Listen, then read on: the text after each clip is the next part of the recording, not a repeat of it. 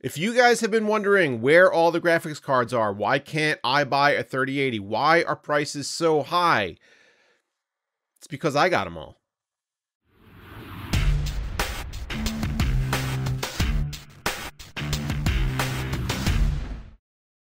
Be Quiet introduces a new way to keep your PC build cool, silent, and looking fresh. Meet the Silent Base 802, available in black or white, windowed, or silence focused. Each case comes with interchangeable top and side panels, a fully kitted out front I.O. selection, three PureWings fans, and a completely modular interior layout that lets you even run the system inverted. With support for up to 420mm radiators or a full complement of hard drives, make the Silent Base the start of your next PC build. Check out the link below or head to BeQuiet.com to learn more. If you guys are new here to the channel, thank you so much for stopping by. I hope you enjoy this content content and get a little bit of education about what exactly is going on in the graphics card and PC hardware space in general, why prices are so high, why they might unfortunately stay high, and if you find this information useful at all, make sure to get subscribed at that link down below. Consider hitting that like button and also maybe following me on Twitter. So a few weeks ago, I published a video about how you can buy a graphics card right now and not get ripped off. Now, these aren't foolproof methods for picking up something like this, but they did help a good amount of people. But I got a lot of feedback saying, why are prices so high? Apparently, a lot of people are understanding that there is a shortage in the market right now, but the exact specifics of why there is a shortage, why people can't find these cards on store shelves, why prices are so high, where this is all coming from, seems to be either lost on a lot of people or maybe that message isn't effectively relayed to the general public. So that's what this video is going to address. And in the course of researching this piece, I also came to a rather unfortunate conclusion. Maybe prices are just gonna stay here. In order to understand why these are out of stock, it's actually important to take a step back and understand what this is. This is a silicon wafer. Now, no, it's not a bunch of RTX 3080s that I'm just hoarding for myself. That would be pretty cool, actually, but that's not the case. This is actually an old wafer, I believe from Texas Instruments. So maybe this is a whole bunch of little calculator parts or something like that. But I have a couple of these in the office and they serve as really nice set decorations because they look really cool and they shine in all kinds of different ways uh, when you put them under different light. But we're not really worried about their decorative properties right now. We're actually more worried about how long it takes to produce them and how this turns into this. We're going to keep this pretty high level here. Silicon wafer production is extremely complicated. And although I understand a little bit about it, I don't have the depth of understanding that would allow me to convey that information to you guys, and I don't want to mislead anybody. So for the purposes of this video, we're just going to say that this is the finished product. And we're going to talk a little bit about how we get here and then what happens after this comes off of the line. There are a few major manufacturers of silicon wafers. Now, silicon wafers are what CPUs and GPUs and other computing devices are derived from. It's what makes a semiconductor. If you take a closer look at this wafer, you can see that it actually is made up of a repeating pattern. And that's because there are many different dies onto one wafer. So once a wafer is produced, it is then cut into pieces that represent individual GPUs or CPUs, and then that is packaged onto a substrate and shipped off to a manufacturer to be made into the product that you buy on store shelves. The total timeline between starting this process and ending up with a chip that can be sold takes between 11 and 13 weeks for modern process nodes. You've probably heard the term 7 nanometer or 8 nanometer, referring to the processes that are used to make NVIDIA and or AMD GPUs recently. This is a 7 nanometer GPU. NVIDIA's newest stuff is 8 nanometer. Now, the production of those wafers takes between 11 and 13 weeks in general. This is pretty broad, like I said, but just use this as a point of reference. And if you want links to any of the sources that I pulled this information from, I'm going to leave them all down below, so feel free to go check them out yourself. But when we're talking about larger process nodes, that timeline shrinks considerably. But for modern processes, for modern manufacturing, for modern wafers and dies, you're looking at about between 11 and 13 weeks to even make the silicon. Now, that is not the end of the story for TSMC or Samsung or Intel or whichever fab is pumping these out. You also have to worry about yield. Now, not every single one of these will be functional. TSMC on average runs at about 80% effectiveness when it comes to yields. That means about 80% of the individual, let's call them CPUs, on a single wafer will be usable. However, that number goes way down when you're talking about larger things like big GPUs used in a 6900 XT or an RTX 3080 or 3090. You can't fit as many of them on a single wafer as you can with smaller dies. So if one of those goes bad or two of those go bad on a wafer, it drags the effectiveness and the yield way down versus what you would have on a wafer with many smaller little GPUs on it. This, in a nutshell, is one of the reasons why an RTX 3080 is so much more expensive than an RTX 3060. Not only is it more powerful, but it's more costly to produce and has lower yields. Fabs like TSMC generally are not running at 100% capacity. That is not what they aim to do. In fact, they usually reserve some of their fab space for need. So if AMD is launching a new GPU and CPU simultaneously and needs all of the 7 nanometer space that TSMC has, they can then utilize some of that additional headroom and expand from 80% capacity up to 90% capacity, pump out more of the silicon that is needed for these products, and meet demand. But if you guys were aware, there's been a little problem in the world over the past year and fabs were shut down for a few months. Now, they are now back and running at full capacity, but there's a huge backlog that needs to be caught up on. So TSMC and likely Samsung are now running at 100% capacity in order to make up for all the time that was lost due to shutdown. Well, what does that mean when AMD and Nvidia are coming to them and saying, "Hey guys, we are running short on product. We need more. Let's up let's use up that capacity that you guys have on reserve." They don't have it. They do not have the physical space on their fab floor in order to actually increase their production to meet the demand that is also increasing. Now, we have a lot of people at home recently, a lot of people needing to upgrade their setups, a lot of people just wanting to get into PC gaming. Demand is higher than it has ever been before for silicon of all types. So you have all these fabs running at 100% to try to make up the backlog and at the same time, you have demand higher than it's ever been before, and there's a huge gap between what can be produced and what needs to be produced. There is more to this. As auto manufacturers continue to expand the AI functionality of their vehicles, they need more and more of this stuff to put into their cars. So it used to be that a car was just a mechanical piece of machinery that sat in your driveway and only responded when you turned a physical key in the ignition.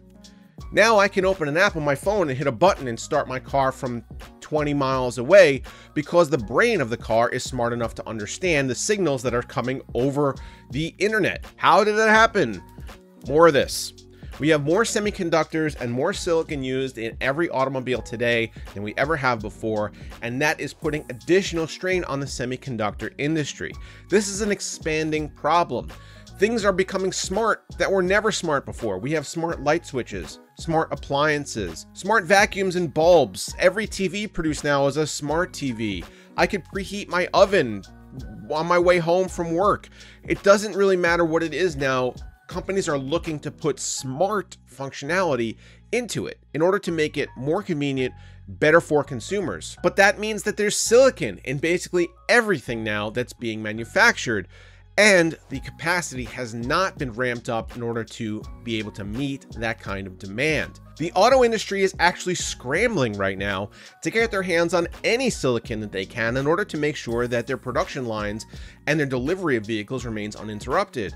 Ford and GM have a whole ton of vehicles right now that are produced and finished with the exception of the ECU or the computer inside of the car, which they don't have. They can't get all these cars and trucks are sitting finished in their lots in Detroit without any electronics in them because they cannot get the supply. How do we fix this? Well, there are three major semiconductor manufacturers in the world right now. It's Samsung, then TSMC, then Intel. Now, Intel generally focuses mostly on its own products. To my knowledge and through my research, I couldn't find any evidence that Intel leases out their fab space to others. It might. But for the purposes of this video, let's focus on Samsung and TSMC, which are the two biggest anyway. Both of those companies have a huge amount of fab space dedicated to the production of silicon for other companies. TSMC has just dedicated an additional 100 billion dollars with a B to increasing their fab space over the next few years. That's several new factories, including one in the United States, that are hopefully going to allow silicon production to catch up to demand. Now, keep in mind, over the next few years, things are not going to get dumber. You're still going to have a whole bunch of products coming out in increasing volumes that are going to need the silicon. But $100 billion for many additional fabs seems like a good start. But these fabs are not going to come online for two, three, or four years. What's going to happen in the meantime? Well, in the meantime, they've increased their price for wafers by about 25%. A 25% increase in every single one of these that rolls off the line and is needed for every single one of these that you see on store shelves. What are the odds you think that companies are going to ignore this price increase and not pass that along to consumers. In addition to that, this is not just made up of silicon, it's made up of a whole bunch of metal, plastic, connectors, other components, LEDs that need to go into the production of these cards. And there has been a worldwide material shortage for the past almost year now, again stemming from the beginning of the COVID 19 pandemic. In some cases, factories that make steel haven't even ramped up production yet, and we're talking about a full year of just being at limited or no capacity. So you have TSMC increasing the cost of their wafers by 25-ish percent. You have a worldwide shortage of metal and other materials needed to build these cards. And the end result is that vendors like MSI and Asus have recently increased the price of all of their products across the board graphics cards and motherboards and sometimes other accessories in accordance with that increase in price of the source materials. So even if you can manage to find a card on store shelves right now, it's going to be marked up by about 25 to 30% over its initial MSRP simply because a lot of these vendors don't have the materials or the silicon to continue production in the volume that they need to. At least that's what they tell you. Now, when I reached out to a couple of industry sources who will remain anonymous and talked to them about this issue, the general consensus and the company line that was told and is being toed by a lot of people is what is the reason for this shortage and price increase? COVID. I also got a couple tariffs. That might be true. There might be some level of truth to that. But it does come back to companies understanding that they have the ability to charge this amount of money and have the cards sell out regardless of what is being charged and understanding that these prices now are the new benchmark. This is now what is sustainable. If I have this card and this retail as an example for $1,200, but every single vendor out there is selling these for 17 or 1800 dollars and they're selling out instantly on store shelves. What do you think the next round of msrp is going to be for the next generation of card? Do you think that companies are going to come out and start selling the cards for lower amounts of money than they know will sell out everywhere? The answer is no.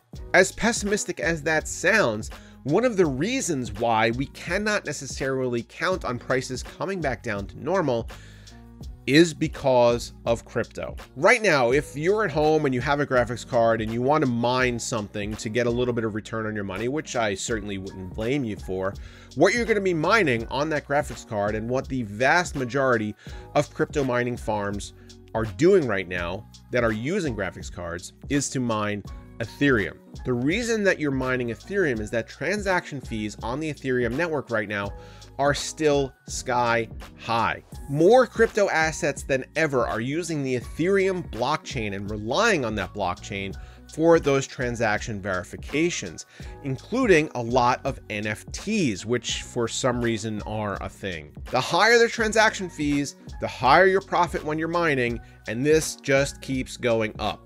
As the transaction fees increase due to increased activity on the Ethereum network, more and more people become interested in mining, more and more people are buying up these cards like crazy, and the shortages continue for the normal consumer. There is a glimmer of hope. Bitmain, which is a manufacturer of crypto ASICs, which are dedicated machines that only mine a certain crypto, are developing a new Antminer for specifically Ethereum mining, and this might take some of the load off of the GPU market when it comes to those looking to mine Ethereum.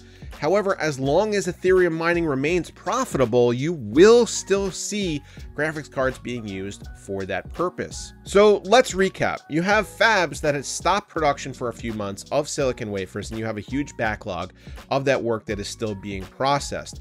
The lead time on these is 11 to 13 weeks per wafer and you have a large volume of them being produced at once, but still cannot catch up to the demand. You have graphics cards now being used for Ethereum mining, and that isn't going away anytime soon. You have the material costs of these coolers that are increased because there is no supply of that stuff either. You have fabs increasing their costs by 25% for each wafer, and there are still things floating around like tariffs. Put that all together, and that is the perfect storm for not only high prices, but increased demand and no supply.